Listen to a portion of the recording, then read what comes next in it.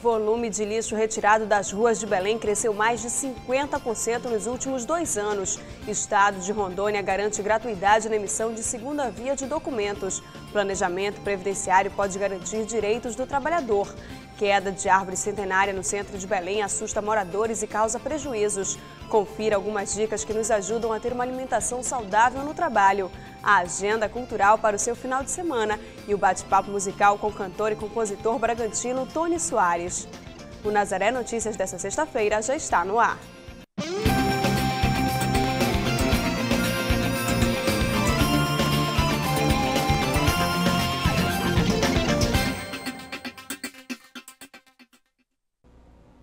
Começamos o Nazaré Notícias de hoje falando sobre resíduos sólidos. Belém é considerada a terceira capital mais suja do Brasil. O volume de lixo retirado das ruas aumentou mais de 50% nos últimos dois anos. A Secretaria Municipal de Saneamento instalou câmeras nos pontos mais críticos da capital para monitorar o lixo. A situação é mais agravante nos canais. Pode-se encontrar de tudo, desde eletrodomésticos a móveis. O entulho nas ruas de Belém é um desafio para o Poder Municipal. Até câmeras foram instaladas em pontos mais críticos para tentar controlar a situação. A ideia não é punir ninguém. A ideia é trazer essas pessoas como auxiliadoras para a nossa CESAM, para a nossa gestão. Uma gestão moderna, participativa, onde exatamente as pessoas podem colaborar, dizendo, descrevendo ou fazendo a denúncia necessária. Sempre haveremos de ter pessoas que não cumprem. Essas sim terão aí o rigor da lei. O monitoramento foi instalado essa semana e já flagrou várias irregularidades.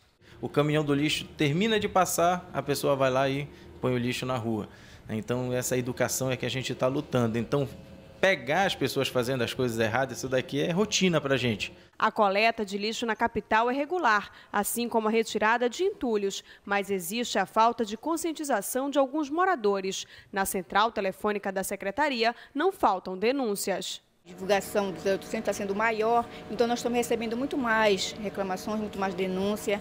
Campanhas de educação trabalham a consciência ambiental dos moradores. Mesmo assim, o número de carros apreendidos por despejo de entulho na rua ainda é grande. As pessoas têm que ter a exata noção do crime ambiental que estão fazendo ou do quanto eles estão influenciando os canais, ou seja, toda a rede, para que ela seja obstruída ou não, dando uma condição de melhor é, viver na hora da chuva, né? Porque à medida em que nós avancemos e cada um faz a sua parte, e a gente quer agradecer aqui que muita gente já está colaborando, já tem essa, consci essa consciência educacional do que é o meio ambiente, o que é bom para nós. Então, só virá a revolução de hábito, a mudança de hábito através da educação ambiental. Desde a implantação da câmera próxima a Pedro Miranda, o canal tem se mantido limpo. Quem for flagrado jogando lixo nos canais pode ser multado. Quem suja a cidade pode ser preso por crime ambiental. E além da coleta regular de lixo, a Secretaria de Saneamento de Belém disponibiliza o disquentulho pelo número 0800 095 3560. Além da, da solicitação da retirada de resíduos das ruas, você também pode, neste telefone, encaminhar denúncias.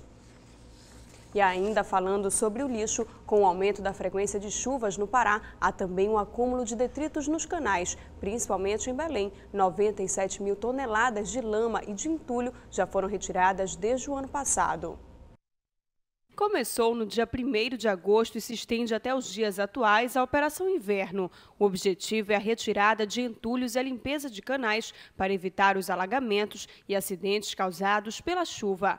Belém está situada no mesmo nível do mar. Quando coincide uma chuva intensa e a maré cheia, os alagamentos são inevitáveis. Minimizar as consequências da combinação de chuvas e marés é outro objetivo da operação. São 350 homens atuando em seis pontos pontos estratégicos. Atualmente, os trabalhos estão sendo intensificados no Canal da Quintino e na 3 de Maio. O trabalho consiste na dragagem, limpeza e arroçagem da vegetação que fica às margens dos canais e a desobstrução da rede de esgoto. Vasos sanitários, geladeiras e sofás são encontrados nos canais. A ajuda da população com o despejo adequado desses objetos contribui também para que problemas sejam evitados.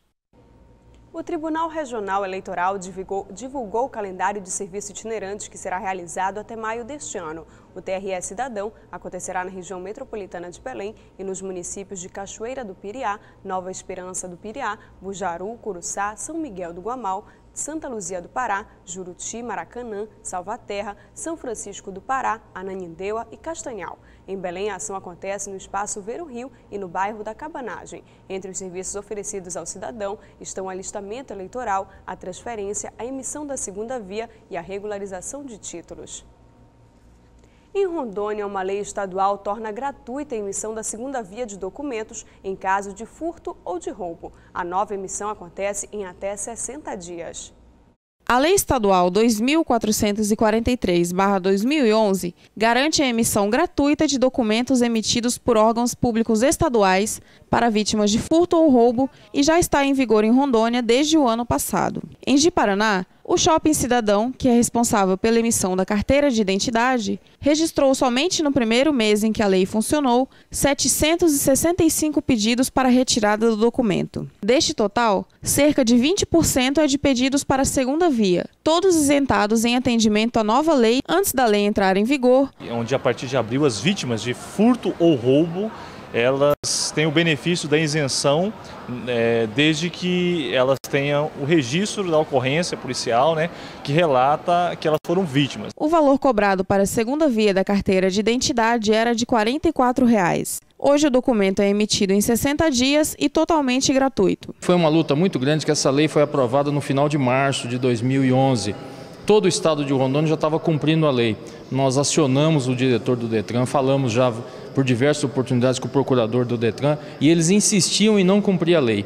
Foi denunciado ao Ministério Público Estadual e, de forma muito ágil, o Ministério Público denunciou o Detran, que não estava cumprindo uma lei estadual, e através de um TAC, de um termo de ajustamento de conduta, nós temos agora a oportunidade de estar sendo cumprido também pelo Detran. Então, todos os usuários, inclusive aqueles que nesse período per, eh, foram é, perdidos, por exemplo, a carteira de, de motorista, por exemplo, através de furto-roubo, eles terão a oportunidade, inclusive, de reaver essa taxa que foi paga de forma indevida. E o Ministério Público Federal no Acre entrou com uma ação civil pública junto à Justiça Federal para que a União garanta os direitos humanos dos haitianos que chegam ao Brasil.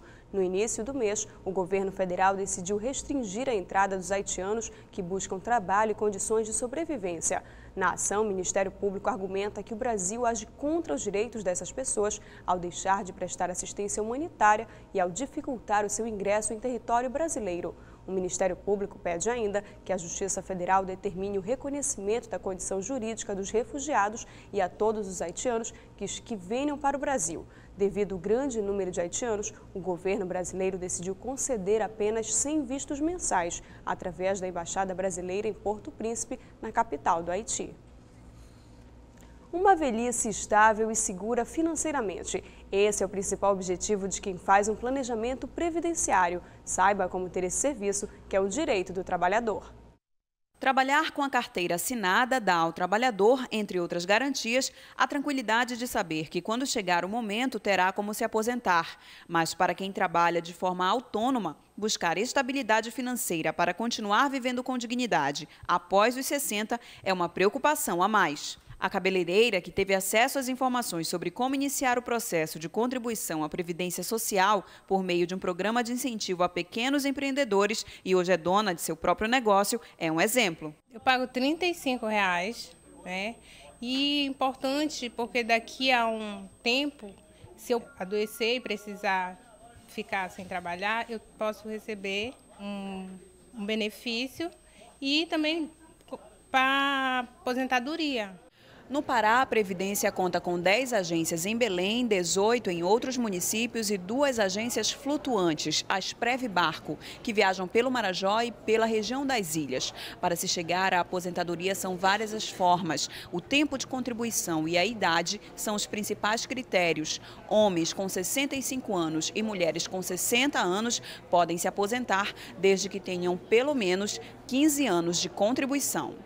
Outra forma de se aposentar antes dos 60 é contribuindo mensalmente junto ao INSS durante 25 anos para as mulheres ou 30 anos para os homens. Nós temos uma, um elencado de, de, de benefícios E a população, nossos clientes, de um modo geral, eles poderão usufruir.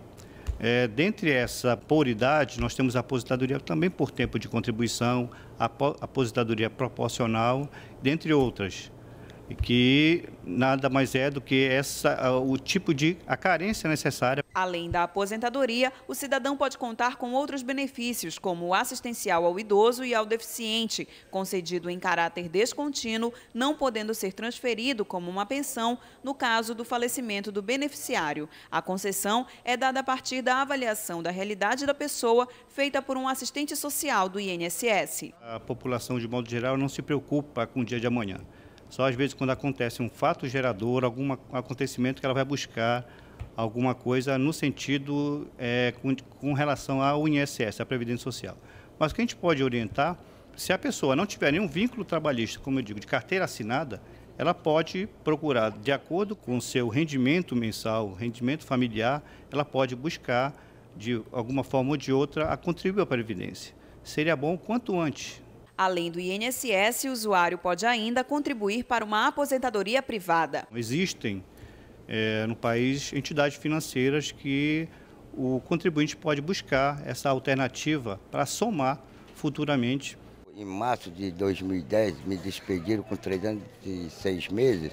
De lá para cá, eu venho metendo currículo direto e só dou entrevista aí, não, ninguém manda, diz que vão telefonar e não telefonam. Na realidade, quando chega nessa idade, a gente já está fora do mercado de trabalho, essa que é a realidade. Agora, com 65, é um direito que me assiste. As informações sobre a abertura do processo de solicitação da aposentadoria e outros procedimentos estão no site da Previdência, previdência.gov.br, ou ainda pelo telefone 135. As ligações feitas de telefone fixo, tanto particular quanto público, são gratuitas. Foi inaugurada na página da Receita Federal na internet uma sessão que exibe em tempo real todos os serviços disponíveis no Centro Virtual de Atendimento ao Contribuinte. Uma das novidades do serviço é a possibilidade de optar em fazer consultas por pessoa física ou jurídica, ou pelo código ou pelo certificado digital. O ECAC é um, é um portal eletrônico com diversos serviços protegidos por sigilo fiscal. A utilização requer o código de acesso ou o certificado digital. Uma árvore centenária caiu na Avenida Nazaré, no centro de Belém. A via teve que ser bloqueada parcialmente. A queda assustou os moradores e comerciantes e provocou alguns prejuízos. Quem passou nessa manhã pela Avenida Nazaré pôde ver as equipes da Secretaria de Meio Ambiente, da Companhia de Transportes do município de Belém e da Defesa Civil para a retirada de uma árvore centenária que caiu próximo à Travessa 14 de Março. O incidente aconteceu por volta das 11h30 da noite de ontem. Uma das árvores centenárias localizadas na Avenida Nazaré caiu ontem em cima daquela banca de revista. Não houve vítima alguma, mas para a proprietária da banca há um prejuízo de mais de 10 mil reais em equipamentos que, segundo a SEMA, devem ser ressarcidos. A associação veio aqui para dar o apoio à proprietária, aguardando aí a retirada da mangueira para ver os danos causados e, e também ver se a prefeitura de alguma forma vai ressarcir o prejuízo. Por enquanto o prejuízo está só no equipamento, mas se vier a chuva ou se a mangueira cair por completo, o prejuízo vai ser maior por conta das revistas que estão lá dentro da banca. Eu já conversei com a proprietária, né? Expliquei para ela que para ela não se preocupar que ela vai ser ressarcida assim. A secretaria ela faz um trabalho sério. A gente já teve algumas situações né, de pessoas que, que caiu uma árvore em cima de um veículo, foram ressarcidos. Então, com certeza ela vai sim ser é, ressarcida em relação ao dano material que ocorreu sobre a banca. A intenção é de que a árvore tombe por completo em cima da banca de revistas. Ela caiu devido ao apodrecimento de suas raízes. Houve uma infiltração, né? Porque justamente por causa da compactação, o calçamento. Então existe todo esse agravante a raiz dela está totalmente, a raiz principal dela está totalmente apodrecida. Então, como ela é uma árvore grande, pesada, ela não consegue. Vem uma chuva, ela não consegue se segurar e virou. São mais de duas mil árvores centenárias espalhadas pela capital paraense. Embora esta não seja a primeira árvore que cai em Belém, a SEMA afirma que é feito um trabalho de prevenção. A gente está fazendo um planejamento, já estamos trabalhando desde novembro nas mangueiras centenárias. Mas nós temos mais de duas mil árvores, mangueiras centenárias. Então, é um trabalho grande, né, que exige uma parceria da CELPA, da CTBEL, a gente tem pontos que a gente não consegue trabalhar durante a semana, como a gente está vendo aqui. Então são pontos que a gente só pode trabalhar aos finais de semana, nem todo final de semana a gente tem condições de atender, assim como a CELPA também. Mas a gente, o nosso objetivo agora é enfocar justamente nessas vias principais. Para os moradores deste perímetro da Avenida Nazaré, o que aconteceu na noite passada gera medo e insegurança. Eu acho que vai ser preciso um dia uma mangueira matar pessoas, como aconteceu agora no Rio de Janeiro, para que o poder público tome a providência preventiva. O Brasil registrou no ano passado mais de 30 mil novos casos de hanseníase, de acordo com dados divulgados pela Secretaria de Vigilância em Saúde do Ministério da Saúde. Esse número representa uma queda de 15% no registro da doença em todo o país entre 2010 e 2011. O Brasil é o segundo país que mais registra novos casos por ano no mundo, atrás apenas da Índia. As regiões Norte, Centro-Oeste e Nordeste são as que mais apresentam o índice desses novos casos. O Dia Mundial de Luta contra a Hanseníase será no próximo domingo, dia 29 de janeiro. A cesta básica paraense continua entre as mais caras do país. O feijão é o alimento que mais contribui para a alta nos preços. Mês passado, a alimentação paraense custou R$ 243,75, comprometendo 48% do salário mínimo. Segundo o Diese Pará, o feijão é o alimento que mais contribuiu para o alto valor na cesta básica. Em novembro de 2011, o quilo do feijão era vendido a R$ 3,30. Em dezembro, o valor aumentou para R$ 3,54. Neste início de ano, o valor do feijão aumentou ainda mais, com novos reajustes no preço do produto. Em vários locais, um quilo de feijão pode ser encontrado a R$ 4,00. Na correria cotidiana, sair do trabalho e ir para casa almoçar é inviável para milhões de trabalhadores em todo o Brasil. Levar o almoço de casa para o trabalho é mais saudável. Confira na reportagem de Caroline Guimarães e Alexandre Lobato algumas dicas de como fazer um almoço saudável e de maior duração. Cada vez mais as pessoas estão levando o almoço para o trabalho. O hábito, além de economizar, é mais saudável. Você tem um controle maior de todas as etapas envolvidas no, no, processo de elaboração desse alimento. E no caso das pessoas que têm algumas doenças como gastrite, né, alteração da gordura no sangue, diabetes ou mesmo hipertensão, elas têm como controlar melhor esses ingredientes que, de fato, quando em excesso, são prejudiciais, nesse caso dessas patologias. Para manter o sabor e a qualidade da comida, dar ouvidos a algumas dicas é muito importante. O ideal é evitar aqueles alimentos, aquelas preparações muito condimentadas, né? É tentar fazer uma seleção de alimentos que não são tão perecíveis, assim, a alteração de temperaturas. As preparações mais secas são as ideais, para que elas possam ficar a uma temperatura constante, mesmo a temperatura ambiente. A temperatura é um fator importante para manter os alimentos saudáveis, evitando que estraguem. Se a pessoa tiver como armazenar esse alimento a uma temperatura de refrigeração até o momento né, da sua refeição, é o ideal. Se não, usar aquelas bolsas térmicas para tentar manter a temperatura o mais constante possível, já que a oscilação da temperatura ela ajuda muito mais a proliferação dos micro-organismos. Para quem trabalha o dia inteiro, a melhor opção é trazer o almoço para o trabalho. É o que acontece com Nadir. Nadir, por que, que você começou a trazer o almoço para o trabalho? Pelo problema de saúde, certo? Primeiramente isso. E depois as condições financeiras, que me levaram a trazer a minha alimentação para o meu trabalho. E há quanto tempo mais ou menos que você faz isso? Uns três anos. Você recomenda para as pessoas trazer o almoço de casa que você sabe como prepara? Com certeza. Você já começa pelos cuidados da, da alimentação, ter como cuidar direitinho. Você sabe que você trazendo uma alimentação de casa, você vai trazer uma comida saudável. Com uma boa organização e um plano de cardápio semanal, comer no trabalho não precisa ser um problema. Pode ser feito sem medo, com uma alimentação boa e adequada.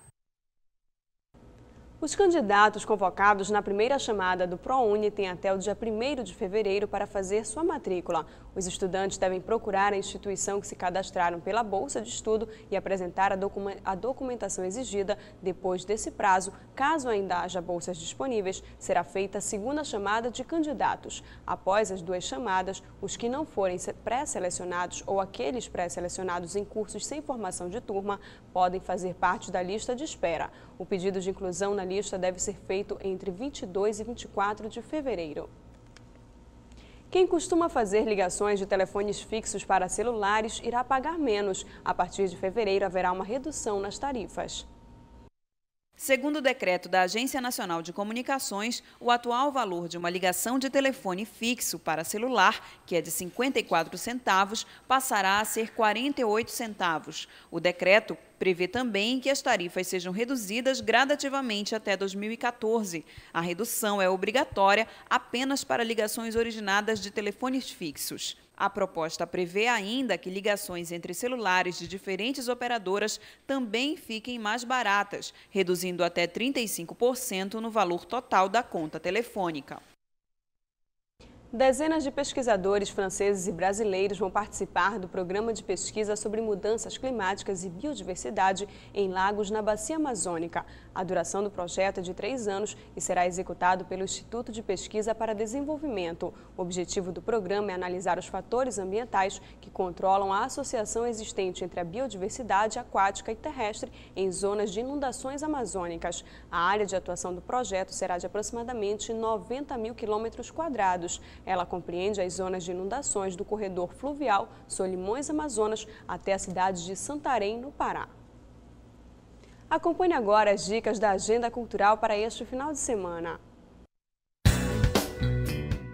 Imagens que revelam as belezas naturais e humanas da região amazônica podem ser conferidas na exposição A Margem do Olhar, do fotógrafo João Hamid, a mostra está aberta para visitação na Galeria Fidanza do Complexo Feliz Lusitânia, na Cidade Velha. A entrada é franca. O Centro Cultural Sesc Boulevard apresenta hoje um show com o cantor Fabrício dos Anjos. Amanhã é dia de samba com Arthur Espíndola e Yasmin Friaça. E domingo com a cantora Dani Lúcio. Sempre às 7 horas da noite e a entrada é franca. O grupo de teatro Aldeato apresenta o espetáculo Procissão das Almas. A peça é baseada na obra Assombrações e Encantamento da Amazônia, do escritor paraense Valcir Monteiro. O espetáculo é domingo na Estação das Docas e a entrada é franca. A Associação de Críticos de Cinema do Pará exibe neste domingo, no Cine Libero Luchardo, o longa-metragem Em um Mundo Melhor, a mostra cinematográfica faz parte da programação Os Melhores Filmes de 2011. A entrada é franca. E sexta-feira é dia especial para a música e a arte aqui no Nazaré Notícias. No bate-papo musical de hoje, você vai conferir as novidades na carreira do cantor e compositor bragantino Tony Soares. Seu mais recente trabalho fala sobre a religiosidade da cidade de Bragança, no Nordeste paraense. Morando há quatro anos em Bragança, ele desenvolveu um CD todo voltado para a Marujada, festa que homenageia São Benedito. O nosso bate-papo de hoje é com Tony Soares, cantor e compositor, e ele vai nos contar um pouquinho sobre esse trabalho do CD e outros projetos ao longo de sua carreira. Tony, como foi que você desenvolveu esse CD com relação a São Benedito, a Marujada? Bom, nós já tínhamos um trabalho voltado para Marujada quando eu era integrante do Arraial do Pavulagem, né? Eu e o Júnior Soares, meu primo, a gente já trazia essa sonoridade para cá, para Belém. Então, tinha algumas composições que a gente já, já tocava no Arraial do Pavulagem. Quando eu passei a morar em Bragança, eu, digamos assim, eu tive mais proximidade com a, com a festividade. Eu fiquei mais de perto da, da festividade, fui conhecendo coisas assim que eu não tinha oportunidade de ver. E as músicas foram surgindo, né? Sou de Vila Quiero Sou de São Benedito, sou de Vila Quirero. Esse contato assim com Bragança, esse contato mais interiorano, também desenvolveu em você essa religiosidade maior para poder compor esse CD? Sem dúvida, a, a proximidade com a Irmandade de São Benedito, a própria Marujada, você está convivendo com não tinha, na época que nós íamos para Bragança, nós não tínhamos é, tempo de conversar com o Marujo, conversar com uma Maruja, conversar com o integrante da comitiva, com o presidente da, da Irmandade, que é o Careca. Então tudo isso vai, a gente vai absorvendo e vai vendo um pouquinho da vida daquele pessoal do cotidiano. Bendito, louvado seja meu Senhor São Benedito, sua bênção Você sempre teve esse contato com a questão cultural, quer dizer, você passou 13 anos no Arraial do Pavulagem, agora você está com esse trabalho bonito sobre a Marujada, então você sempre teve essa linha voltada mais para a parte cultural? Sim, sem, sem dúvida sim. Foi no Arraial do Pavulagem a gente já tinha, eu tinha uma experiência com teatro, na verdade comecei pelo, pelo teatro, compondo trilhas para o teatro, o Grupo Palha, o Grupo Cuíra, o, compus também para cinema, para vídeo, mas assim, sempre a veia cultural para o regional. Agora, além do Pavulagem, além desse, desse trabalho agora, desse CD, você teve outros projetos ao longo de sua carreira, né? Que projetos, que projetos foram esses? Pois é, eu passei muito tempo compondo para teatro, compus várias trilhas aí do grupo, grupo Palha, o Toque do Berrante, compus também Ibie Maran, que foi uma trilha muito premiada no Nordeste. E depois eu aceitei convite do grupo Cuíra para fazer meio metro de metrópole, outra peça também. E veio usina contemporânea também. Foi muita coisa de teatro. Então, eu sempre levo essa, essa, essa sonoridade do, do, do, do teatro para dentro do show também. Então, o show, quando eu faço o show, tem elementos do teatro. Agora, assim, esse CD, além de ser um CD religioso, ele mistura uns ritmos, assim, bem nossos, né? Bem regionais. Como foi que você procurou fazer esse trabalho? Porque assim, a, a marujada de Bragança, a música de Bragança, ela é pulsante, ela é do tambor. Nós temos os hinos, né? E aqui eu coloquei um hino, que foi Caminhando com São Benedito, um hino para São Benedito. Mas o, o, o, restante do CD é baseado no retumbão. Retumbão é tambor direto, né? Então é tambor, é muito ritmo. O retumbão é o shot, no caso da, da, da música composição Clareia, é um shot bragantino também, um verdadeiro shot bragantino. Então tá misturado. Então as pessoas podem dizer, ah, Caminhando com São Benedito é um, é um disco religioso? É, mas é pulsante. E o povoado inteiro já chegou São Benedito. CD é para matar um pouquinho também a saudade da terra, né? Ah, o CD, na verdade, eu estou prestando contas com São Benedito, agradecendo, né, por várias, várias várias emoções que ele, ele me passou, várias bênçãos que ele, que ele me deu. E é um presente para todo o povo bragantino, é, mostrar essas músicas, compor essas músicas. E eu, eu tenho certeza e peço para ele também que não, não deixe eu parar por aqui, não. Ainda tem muita coisa pela frente ainda. Então, boa sorte, Tony. O Nazana Notícias vai ficando por aqui. Tenham todos um excelente final de semana e até segunda-feira.